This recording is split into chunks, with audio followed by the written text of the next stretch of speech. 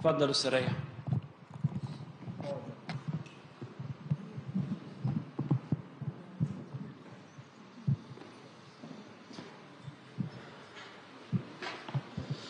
بسم الله والابن والروح القدس الاله الواحد آمين. تحل علينا نعمة ورحمة وبركته من الان وإلى دهر الدهور كلها آمين.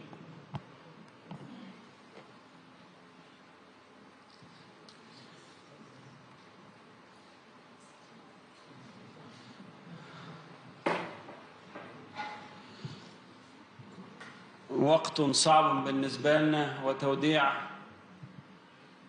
أخونا وحبيبنا أبونا سوريال الأورشليمي اللي فاجأه الموت أمس وهو معانا في الصلاة في جبل الصعود. أبونا سوريال من الآباء اللي هم أصحاب القلب النقي اللي كان موجود معانا في الدير تملأه الغيرة على المكان.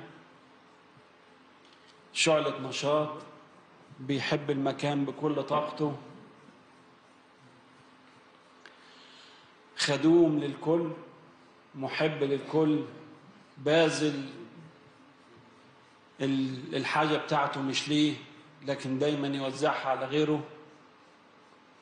والكثير لمسوا هذا الكلام.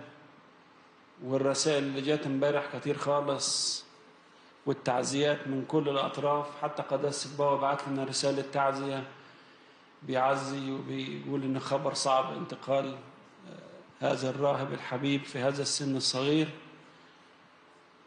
ولكن سفر الحكمة سليمان الحكيم بيقول لنا كان مستوفيا أياما كثيرة في زمن قليل. هو عمل كل الرسالة بتاعته في زمن صغير فخلص الرسالة بتاعته وربنا قال له كفاية عليك كده. أبونا سوريال كان ماسك أشغال كتير في الدير يمكن هي موسمية مش مش مش ورا بعض. يعني كل الشمع اللي بتستهلك كنيسة القيامة واللي بنستخدمه في سبت النور هو اللي بيعمله. طبعا بيساعدوا بعض الآباء لكن هو هو الأساس في الموضوع. حتى في موسم المقدسين لما كانوا بيجوا أي حد كان بيتعب أو لا قدر الله بتحصل حادثة وفاة هو برضه بمساعدة الآباء هو اللي بيجري على المستشفيات ويجري على الإسعاف ويجري هنا ويجري هنا لغاية إذا كان حد سليم يعني لغاية لما يطلع من المستشفى ويوصل لغاية المطار عشان يرجع بيته. كان ماسك شغل الأركت هو اللي بيعمل شغل الأركت في بيت حنينة. كان ماسك الكنايس وهو اللي مسؤول عن توضيب كل الكنايس وكنس الكنايس وتوضيب الأواني وتغيير الستور فرش المذبح وأواني المذبح والأضجم وكل حاجة الشمعدانات والشوارع والبخور والفحم كل حاجة كان هو اللي ماسكها.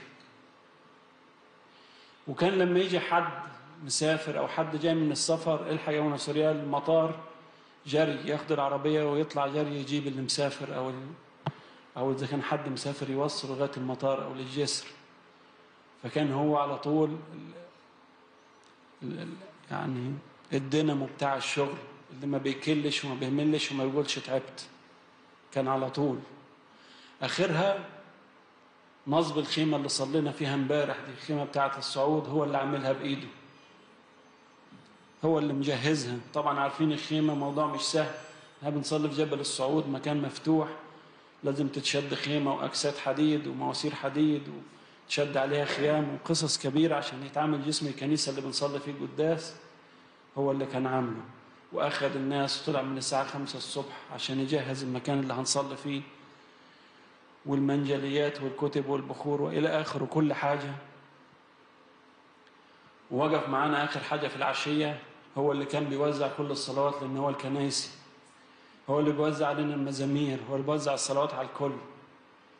لغاية آخر ناس ما فيه وبيسألوه هنصلي فين وشيت الإنجيل بيشاور لهم على المكان بتاع الصعود وهو بيشاور راح واجع يعني هو بيمارس شغله لغاية آخر لحظة في حياته. بيمارسه بكل أمانة وبكل غيرة وبكل محبة. محدش كان بيضغط عليه. هو اللي كان بيطلب إحنا رايحين بكرة جهزوا لي في كذا وكذا وعاوز كم واحد من العمال والشباب عشان يساعدوني. وهو اللي يجري جري عشان يجهز كل حاجة. ف لكن ربنا عاوزه. هو ربنا شاف إن هو اشتغل كتير وتعب كتير وكفاية تعب. طبعا نسيت ما أقول لكم إن هو اللي كان مؤسس مدارس الأحد. وتعب كتير مع الأولاد في مدارس الأحد وفي الرحلات وفي الأنشطة وفي الدروس وإلى آخره. أنا لو قعدت أفتكر حاجات كتير كان أبونا سوريال بيعملها ولكن طبعا إذا إحنا نسينا ربنا ما بينساش. ربنا فاكر له كل حاجة عملها. وطبعا انتقاله ممكن يكون مفاجئ لينا إحنا لكن بالنسبة له هو ما كانش مفاجئ. لأن في أدلة كتير بتقول إن هو كان عارف. من ضمنها لسه أحد الإخوة المدرسين بيكلمنا دلوقتي من شوية بيقول إن هو تعب شوية في ساعة الكورونا وبيقول لأبونا ده أنا شكلي هتوفى فلو توفيت تدفنوني هنا في القدس. فقال له لا أنت مش هتوفى أنت اللي هتدفني أنا.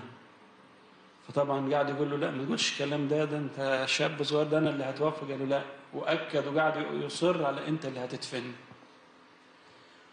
راح عند ابونا بولا أب اعترافه في الإمارات وقعد عنده أربعين يوم صلى فيهم أربعين قداس. كان بيصر يصلي لوحده مش عاوز حد يصلي معاه.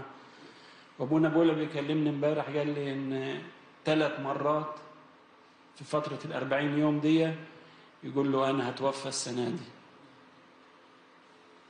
فأبونا يقول له بلاش الكلام ده بلاش هزار في الحاجات دي أنت صغير أنت مش قال له ما بهزرش أنا بتكلم جد أنا هتوفى السنة دي.